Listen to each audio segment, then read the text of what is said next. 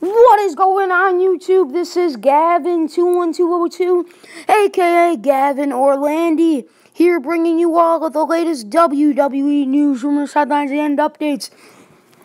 In regards to the champ that runs the camp, the face that runs the place, and the future 16 time WWE World Champion.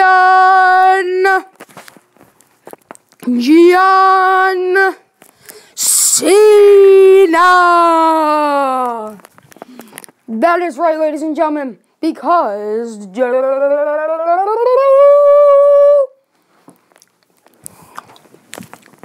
you heard it here first, folks. Because the WWE is planning for John Cena to win his 16th WWE World Heavyweight Championship at WrestleMania 33 in Orlando, Florida. Now, Cena is currently off from the WWE filming the second season of American Grit. But when he comes back, WWE is focused on immediately starting that program after they do the program with Baron Corbin if they follow through with that. Also, with the WWE having this in mind on the grandest stage of them all, it was planned that he would be going against The Undertaker at Mania. Could somehow The Undertaker become WWE World Heavyweight Champion before WrestleMania 33? That would be pretty shocking. Could it be somebody like Goldberg?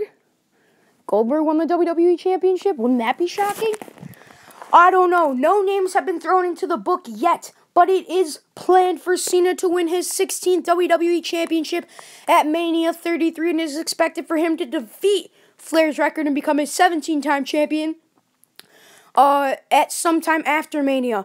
Although this could happen before Mania, I don't know. We're going to have to tune in to WWE TV to find out what happens. So, ladies and gentlemen, if there's any more WWE news, rumors, headlines, and updates that come across my desk, I will bring them to you here exclusively on this channel.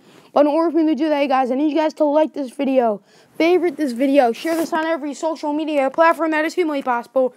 Go pledge me on patreon.com check out my Patreon rewards in the link in the description below. And do me one last thing, and definitely subscribe. And don't forget to watch my Hell in a Cell predictions coming out tonight. See you guys later.